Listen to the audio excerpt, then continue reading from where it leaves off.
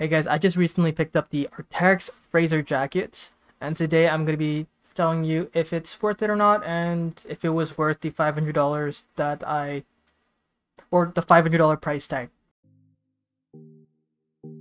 So, just about two weeks ago, I picked up the Arc'teryx Fraser jacket.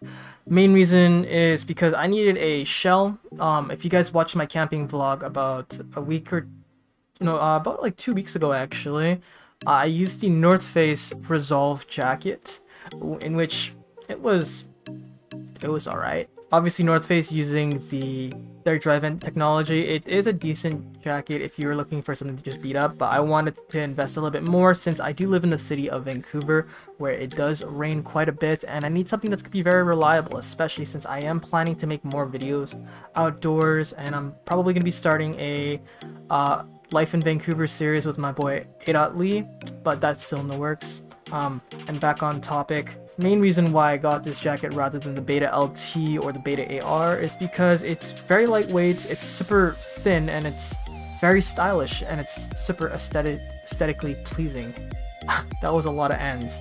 The Fraser jacket does feature the Gore-Tex performance membrane, whereas the Beta LT uses the Gore-Tex Pro membrane, and the benefits of the performance series is that it is windproof and of course waterproof um, which is what I basically need it for and the Beta LT uses the Gore-Tex Pro membrane which is a bit more on the durable side.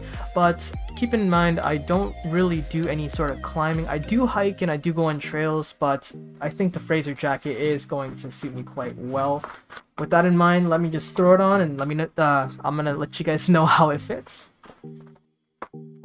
Alright so now I have the jacket on and personally, I got a size small, which I was a little bit worried about if the, the fitting was going to fit a bit, um, a bit too big. Because I know with the Beta LT, I did end up trying it on at one point because I do work at a um, jacket retailer store. And the Beta LT was kind of just right, but shells normally fit slightly bigger in my opinion, just so you can have a mid layer. Um, kind of put under if it gets a little bit chilly and you can use it's very shells are very versatile but shells offer uh, these shells offer no like sort of insulation which is why it does fit a little bit bigger. So yeah i got I ended up going with the size small and for reference i am 5'7 around 125 pounds. Um and they do not provide an extra small so i'd say if you are smaller than that the size small might be slightly too big and if that's the case i would recommend going with just the beta lt which is around $50 more because they do provide an extra small option. Um, but if you're on 5'7 130 pounds or so uh, this jacket should fit you quite well. The jacket does uh, provide four four zippers on the uh, two on the chest and two at the belly area. Um, both in which they are tape seamed off so you don't have to worry about uh, water getting into your I guess pockets. The chest pockets are really great if you just wanted to put like a let's say so if you want to put your phone in your chest pocket it is kind of a snug fit but it fits right there. I have the iPhone 12 Pro for reference um, let's put that aside. So if you wanted to just kind of slip it in there, or if you, you can just throw in some keys as well, that's also a great, uh, great, I guess, choice or use of the pocket itself. And another reason why I ended up going with the Fraser jacket is because it has that urban tech wear look that I really wanted. Um, not saying that the beta, usually Arc'teryx jackets, they do all have that urban look, but just there's just something about the Fraser jacket where it's just so sleek and so thin. Sorry about that. Um, there's something about just kind of that sleek and thin look to this jacket. It just makes it look so much more better, in my opinion. Um, one thing to note is that although I do love Arc'teryx, one thing I don't like is kind of being dripped out in Arc'teryx. I do, I am wearing an Arc'teryx shirt, um, but this can go for any other brand. I don't like, I don't like being dressed up and down with one specific brand. So that's kind of another reason why I ended up going with the Fraser jacket.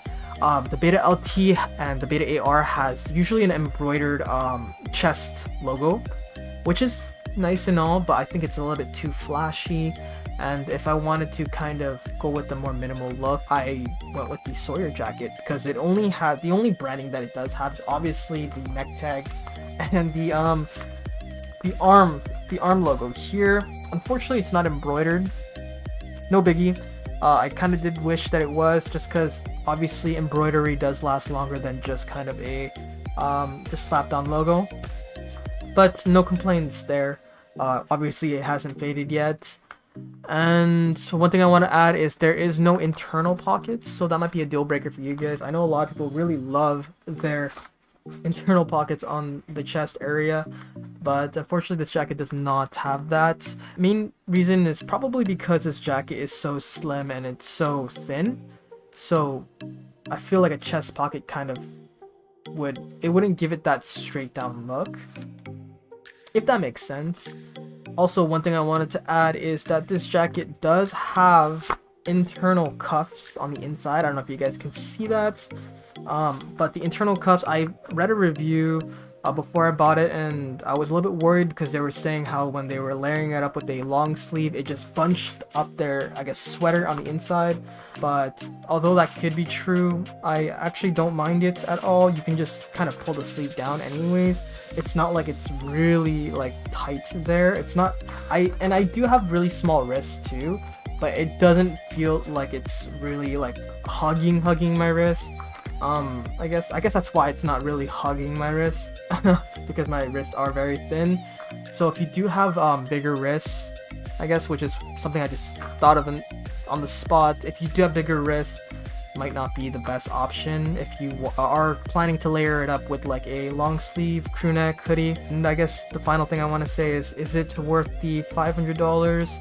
Um, if you are looking for something to just use casually in the city. I'd say it's a great jacket just for that aesthetics. But if you are looking for something a little more on the durable side, something more functional, I guess more functional and yeah, more durable, um, just go with the Beta LT. Yeah, that kind of summarizes these, this entire video. Hopefully you found this video useful. I have been making more vlogs and whatnot, but I do want to lead my channel in a direction where I review jackets and just kind of products in general. Um, but yeah, if you guys enjoyed this video, I would really, really appreciate if you guys hit that likes and even potentially subscribe button. And if you really, really like this video, feel free to press the bell notification just to be um, notified when I do end up uploading. I'm trying to upload every week or so at least.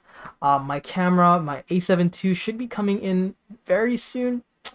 So keep your eyes out for that video coming out soon. And with that, I Hope you guys have a wonderful rest of your day and see you guys next time. There we go.